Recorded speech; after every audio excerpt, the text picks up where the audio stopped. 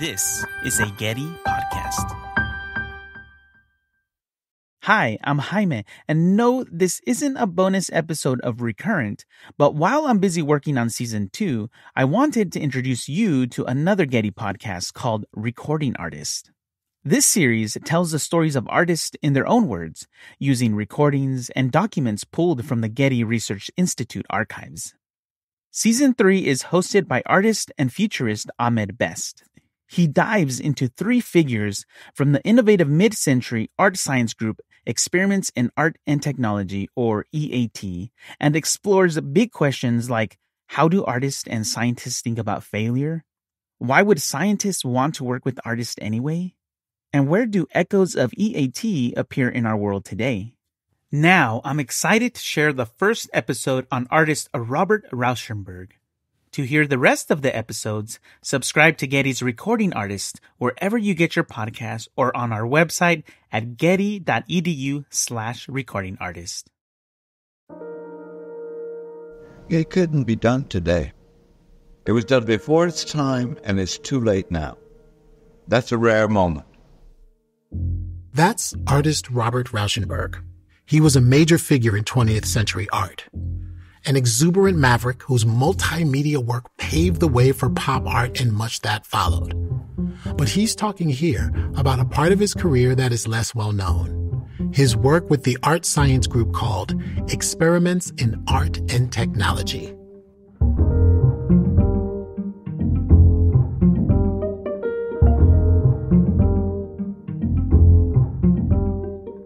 Welcome to season three of Recording Artists, a Getty podcast dedicated to exploring the lives of artists through its archives. I'm your host, artist and futurist Ahmed Best. In this season, we look at Experiments in Art and Technology, or EAT, this groundbreaking organization of artists and scientists formed in 1966 to facilitate collaboration and explore the creative potential of new technologies. In this first episode, we focus on one of the key founders of EAT, artist Robert Rauschenberg.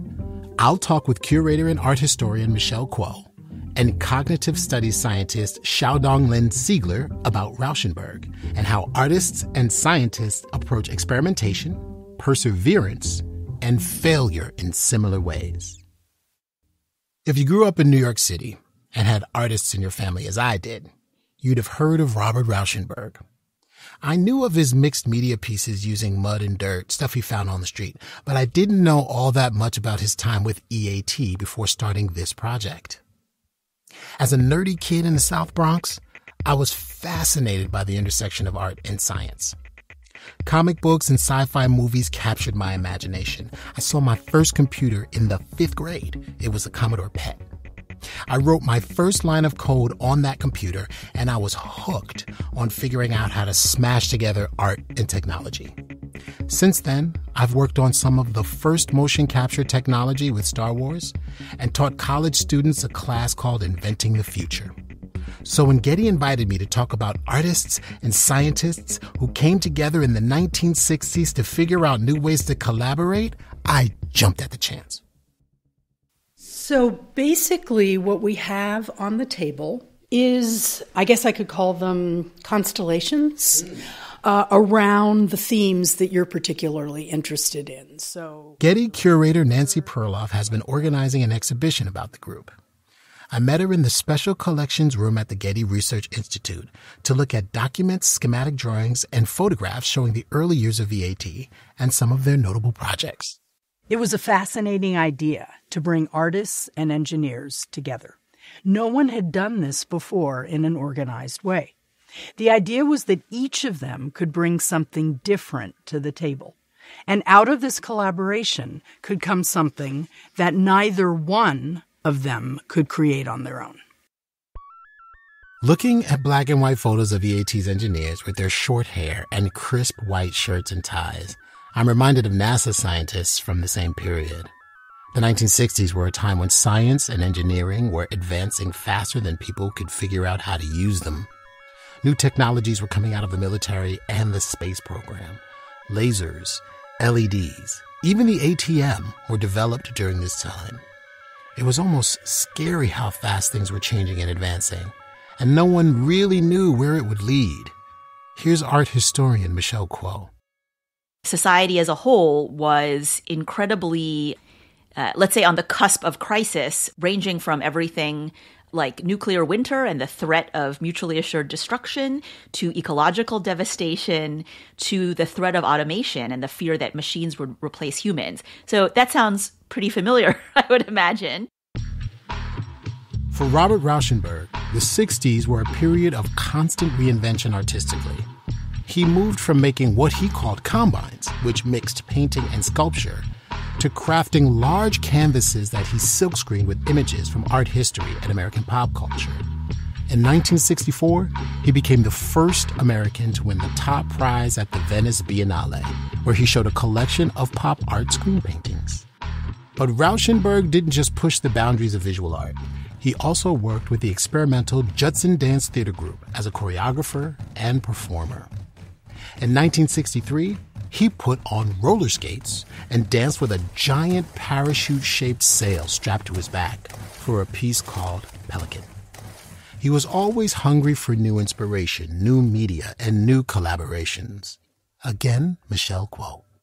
In the early 60s, he starts to really think about technology as something that's become part of everyday life, but that is a bit wondrous. Like suddenly we can communicate with people halfway around the world. Suddenly, humans are launching satellites into space that can transmit beams over thousands and thousands of miles. And he became fascinated, just like he was fascinated with nature, he became fascinated with technology as something that's all around us, but that we don't necessarily take time to understand.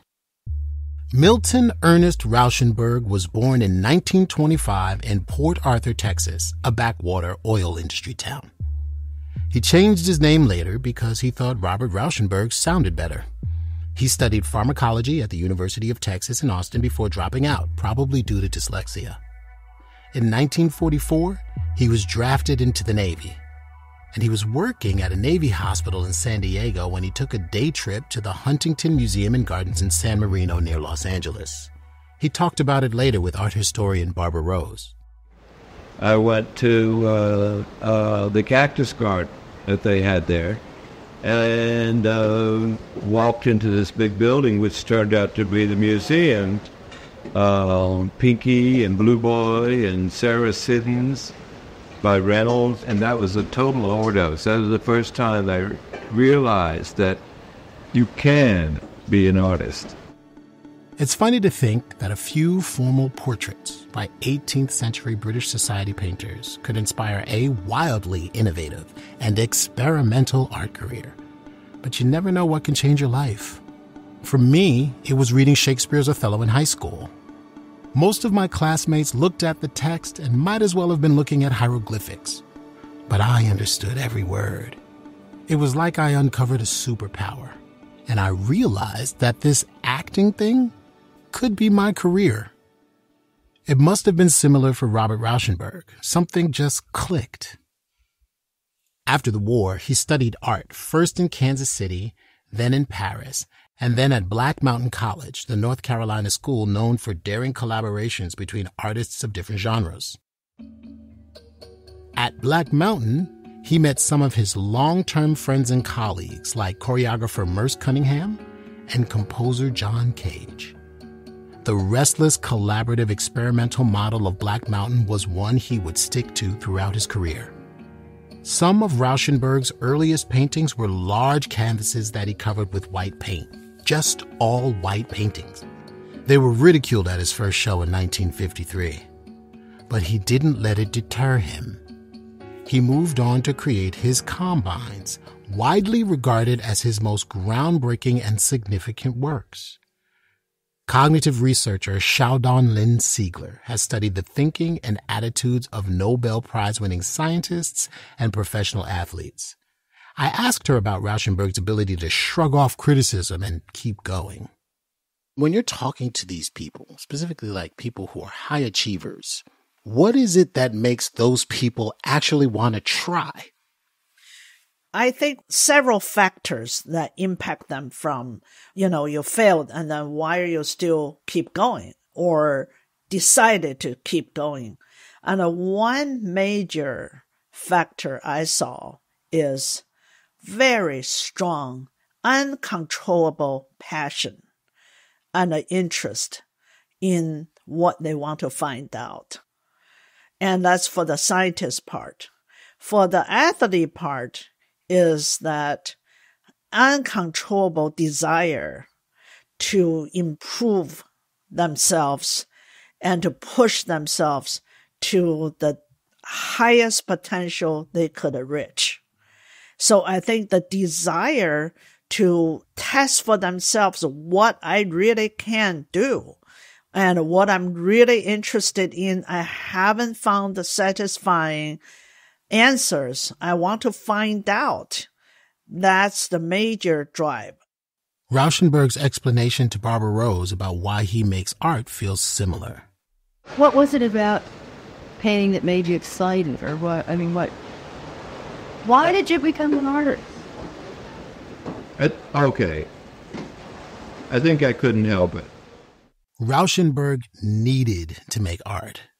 And part of what shielded him from any feeling of failure was his belief that art making wasn't really about an end product, a painting, a sculpture, a performance. The art was in the process, the creative passion and the energy that went into that piece. He describes a lecture he gave to a group of students. So I ended up by saying that art is, is nothing that you can measure. It depends on the time, the look, the intensity, the devotion that's placed in it. And of course, all that comes with sacrifices because the rewards are not uh, immediate. I said, if you can avoid being an artist, do so. Everybody in the arts has heard that at some point. If you can do anything other than art, you should. I know I've had my share of devastating rejection. The ups and downs come with the territory. But you do it because you can't not do it.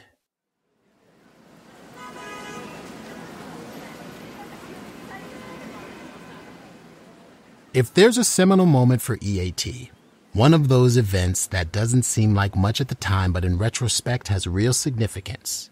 It has to be the meeting of Robert Rauschenberg and Billy Kluver. Kluver was a Swedish physicist who was working for Bell Laboratories in New Jersey. Michelle Kuo.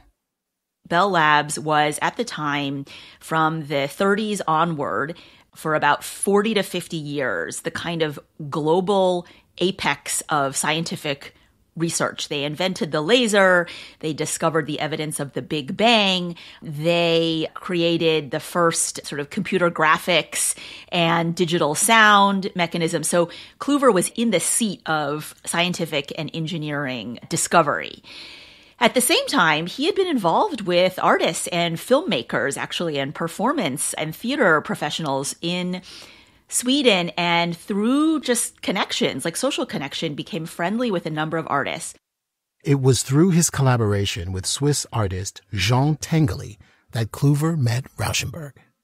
Tinguely worked with Kluver to create in 1960 a work called Homage to New York in the sculpture garden of the Museum of Modern Art in New York. And in a early spring March evening, they set off this gigantic contraption that had wheels and whistles, and basically, it was a sculpture that Tinguely said was supposed to destroy itself, and that it would actually explode at the end of this performance. Rauschenberg was there. And so Rauschenberg himself had created a little contraption that he called Money Thrower that was sort of in response to this big auto destructive sculpture, as Tinguely called it. And that's where Rauschenberg met Kluver on that rainy evening in New York. The two of them hit it off and started working together on sculptures and installations. For Rauschenberg, Kluver was a gateway to science and technology. Rauschenberg later said, Billy Kluver gave me the suggestion that the possibilities in technology were endless. Michelle Kuo. I think Rauschenberg and Kluver and these other artists thought, well, what if we could take these technologies that are in development, technologies that 99.999% of ordinary people have no access to, let alone knowledge of, and what if we could think about them differently and maybe make them do something else and maybe make them sort of experimental in the artistic sense rather than only in the technological research and development sense? Rauschenberg and Kluver started to conceptualize a series of performances that would involve a large group of artists and engineers working together using new technology to create live performances that had never been seen or experienced before. They started pulling in collaborators. Rauschenberg's circle of artists, dancers, and choreographers like Deborah Hay and Yvonne Rainer, along with experimental musicians and composers like John Cage and David Tudor and Kluver's contacts, scientists and engineers from Bell Labs in New Jersey. Ultimately, they enlisted 10 artists and about 30 engineers in a months long process to develop a slate of performances. They would meet this kind of amoeba like shape shifting group of people and they would have all these ideas. So the artist would throw out all these ideas. And the thing that everyone remembers from that time is that the engineers would say, whoa, whoa, like these things that you're throwing out, like there is no way we can realize that. Initially, the group planned to stage these performances at an arts festival in Kluver's native Sweden.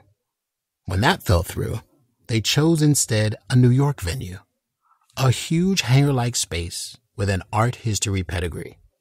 It was the 69th Regiment Armory Building in Manhattan, where the 1913 Armory show that introduced Duchamp the Surrealists, and other avant garde artists to Americans had taken place.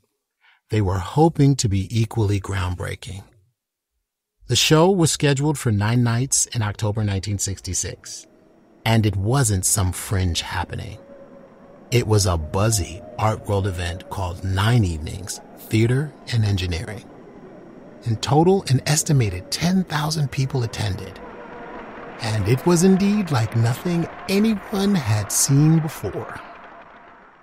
Nine evenings entailed everything from live sound transmission, experimental music, experimental choreography with lasers, infrared cameras, transistor radios, walkie talkies, kinetic sculptures, gigantic inflatable plastic tunnels, oscilloscopes and they created these very, very interesting events. What kind of interesting events? Choreographer Steve Paxton created a labyrinth made of clear plastic tubes that audiences had to walk through. Dancer Alex Hay performed choreographed movements while the sounds of his body, heart, muscles, eyelids were amplified via sensors on his back. John Cage had the audience wandering past illuminated radios, telephones, and kitchen appliances, which he had fitted with contact microphones. Multimedia artist Oyvind Fahlstrom devised a theater piece with live actors, a singing pillow, snowflakes that fell upwards, a woman in a plastic swimming pool of jello, and a triptych of slide movie and television projection screens. The film footage of Nine Evenings is kind of fascinating. Along with performance excerpts, you see the engineers still in their white shirts and ties. There are switchboards and transmitters and miles of cables. There's a large audience of people sitting on bleachers or milling around in the dark.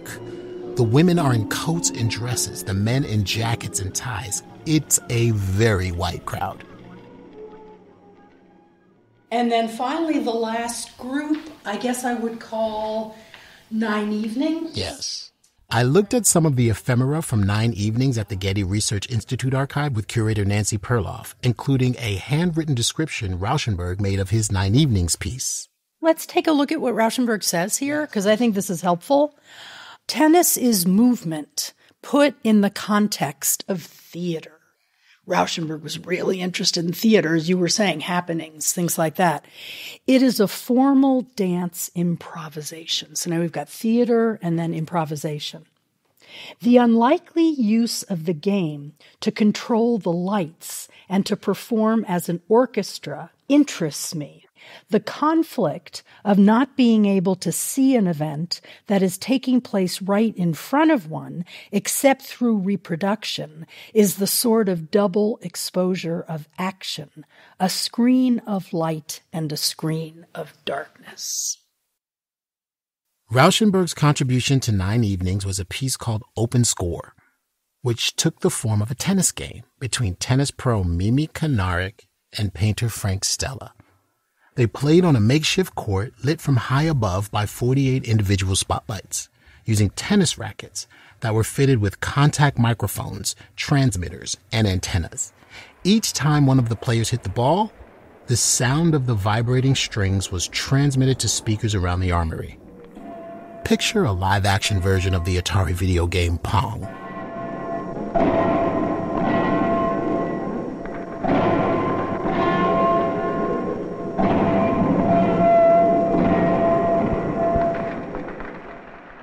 What happened was every time Mimi Kanarek, and she was the tennis pro, hmm. and then Frank Stella, who was the other performer, hit the ball, a light would go off. Right. So with each rally of hitting the ball, the light goes off, just one light. So the light turns off completely. Yeah. And so as they go, it just gets consecutively darker and darker until there's no light left. Exactly. And that's what he's referring to at the end. Right. Because at the end, he uses infrared cameras, hmm.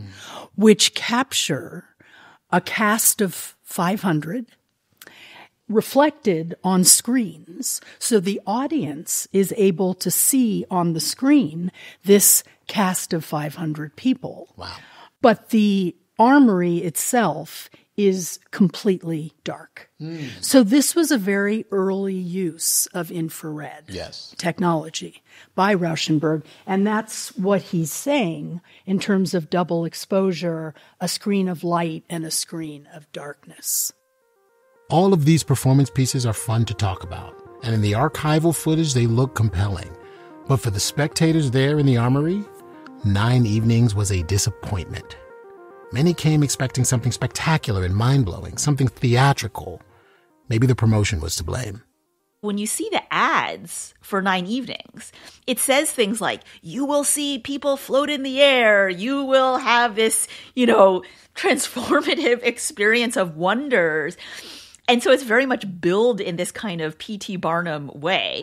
And so I think that also, in a way that probably the artist did not intend, drummed up expectations for kind of some kind of spectacular fireworks extravaganza. And then, of course, it wasn't that. Even if the tech had worked seamlessly, they would get like a weird drone sound from John Cage.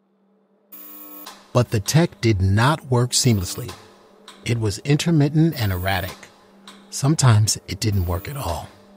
For Rauschenberg's open score, each time they hit the ball, another spotlight was supposed to switch off automatically. At the first performance, though, engineers had to rush to unplug one light at a time as the game progressed. When the infrared cameras wouldn't turn on, an engineer eventually fixed the problem by doing what we all do now when we're faced with a mysterious tech failure. He unplugged everything and then plugged it back in. If you've ever worked on a play, even a high school play, you might remember a tech rehearsal where they figure out the lights and the sound. There's a lot of starts and stops, a lot of waiting around. It was a bit like that, except in front of a paying audience. So they're frantically trying to get this to work, and the audience has to wait in some cases for hours, and they're getting really angry and impatient.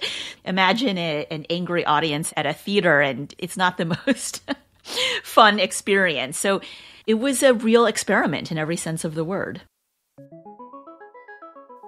Disharmony at the Armory was how New York Times critic Grace Gluck titled her summary of the show. She quoted one spectator who said the show was brave, experimental, inventive, uncompromising, and I yawned all the way through it. New Yorker magazine art critic Peter Schjeldahl had one of my favorite summaries of the performances. They were malfunctioning, formless, benumbing ordeals. To appreciate Nine Evenings, you had to have not been there. As someone who's performed in some pretty edgy and experimental shows, I give a lot of credit to the artists, engineers, and performers who stage Nine Evenings. It takes courage to get up and do something when you don't know how it's going to go over. There's already a lot of insecurity involved in being an artist. To put something out there can be terrifying. So it's interesting to see that the artists and engineers weren't crushed by the bad reviews. All the evidence suggests that they felt just fine because in this case, their goal wasn't really to entertain an audience. It was all about creating something new. Here's how Rauschenberg described it more than 25 years later. If it's the first time that it's never been done, there's no preparation for any sense of, of being there. And I think that's why so many people who get brave coming probably most of their experience afterwards thinking I shouldn't have, but now are are so proud. It's a very small club of people who brag about I saw nine evenings. That's real elite. Yes. it couldn't be done today. It was done before its time, and it's too late now. That's a rare moment. Both science and art are experimental. They're iterative, and failure is a part of the process. You don't just wake up and create something perfect. You keep trying and keep failing until you get it right. Here's Xiaodong Lin Siegler again. I firmly believe there is a strong correlation between high expectations, high achievement, high desire to achieve, and a high level of failures. And Michelle Kuo. Billy Kluver, who would go on to found EAT, famously said, if you are not failing 96% of the time, then you're not a good engineer. Making art, like science, means giving yourself permission to fail, which is a hard thing to do. Xiaodong Lin Siegler tells the story of an artist she saw drawing a street scene near her home. Day after day, she saw him working and reworking the same painting. She says she brought her young daughter, who was constrained by a fear of making mistakes, to meet him. I just started by saying, you know, uh, this kid believed that you got everything right the first time. So can you tell us, is it the case? And that guy said, hell no. And I can't tell you this painting has been going on for months and I'm still doing it because I constantly making mistakes. I constantly revise it.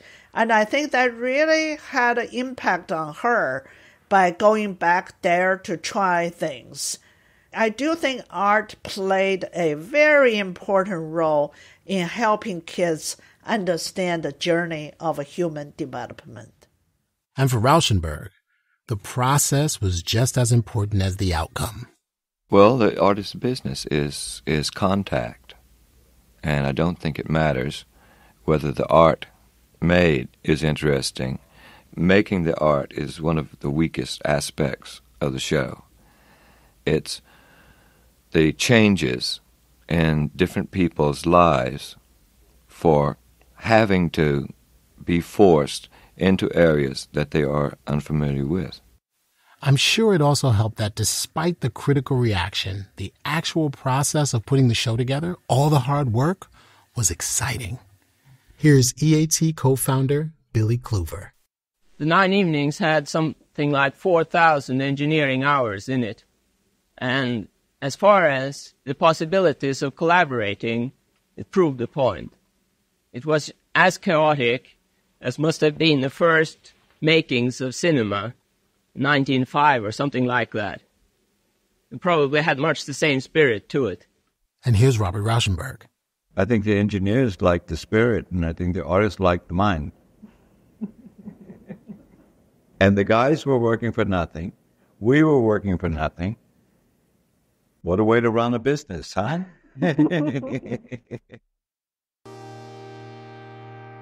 A month after Nine Evenings, the participants called a meeting at a New York hotel to assess the level of interest in an ongoing art science collaborative. 300 people showed up. Experiments in Art and Technology, EAT, became a formalized nonprofit organization with Rauschenberg and Kluver, alongside artist Robert Whitman and engineer Fred Waldhauer as officers. They had a board of directors, a permanent staff, and an office on East 16th Street.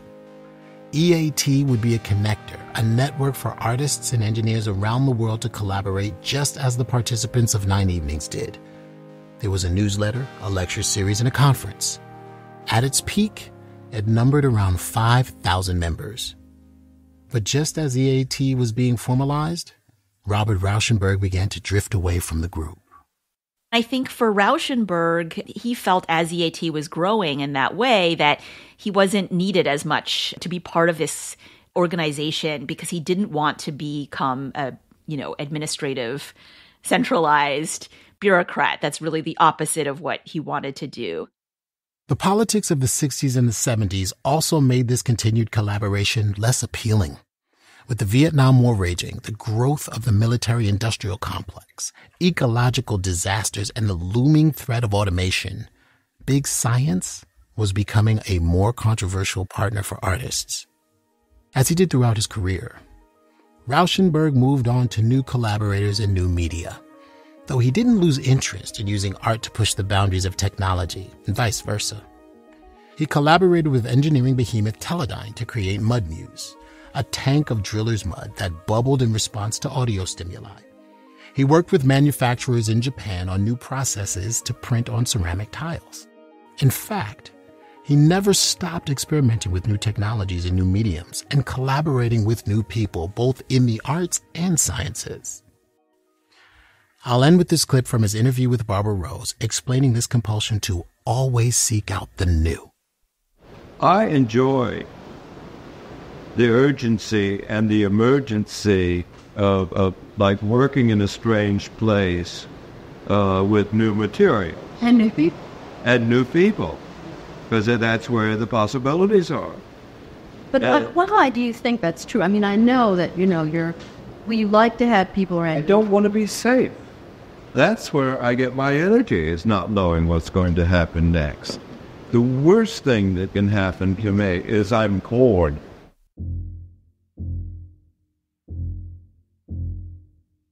In the next episode, we explore the organization from the point of view of the Bell Labs engineer Billy Kluver. We'll learn what artists and engineers gain by working together, but also why collaboration like this is so hard. And we'll look at an even more ambitious EAT project, the Pepsi Pavilion at the 1970 World Exposition in Osaka, Japan. The visitor is virtually inside a mirror of sound. That's in episode two of Recording Artists.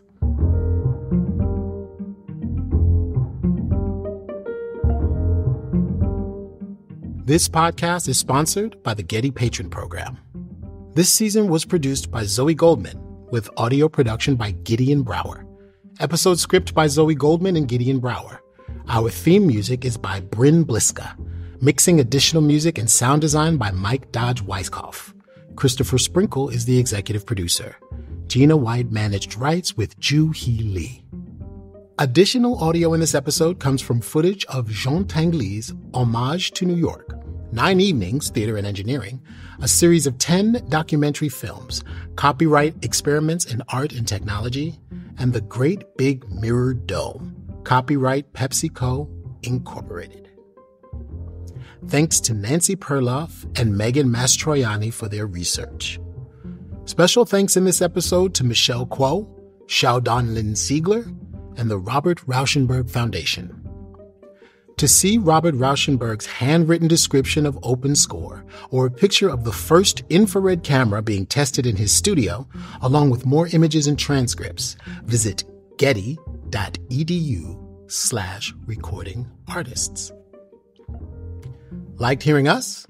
We want to hear about you. Take our audience survey at the link in the show notes or on our website.